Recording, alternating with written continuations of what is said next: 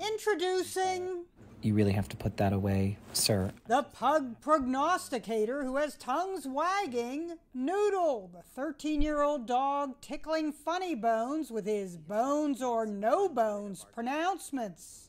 Oh my gosh. Oh my gosh, there are bones. There are bones today. Okay, all right, you know what that means. Treat yourself today. But please, no bones to pick on those mornings when the opposite happens.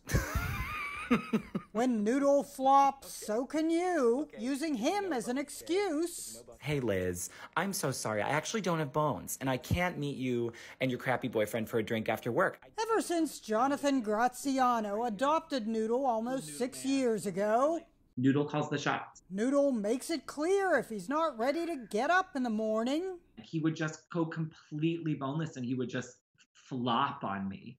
Now the internet is taking its cues from a 23 pound pug on whether it's going to be a Bones Day Standing like a deep rooted tree.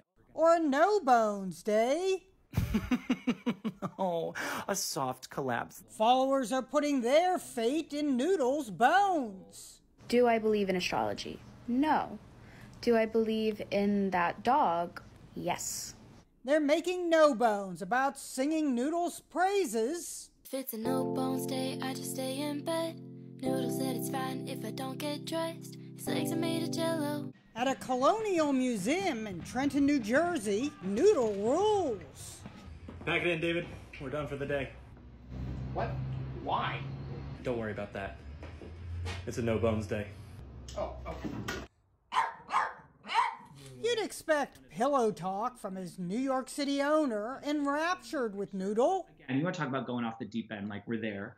But with over 1.7 million followers, Oh, and he's feeling jazzed. seems like everyone's going off the deep end. Noodle said that it was quite alright if I don't leave my house all night. Blame Noodle, and maybe you won't end up in the doghouse.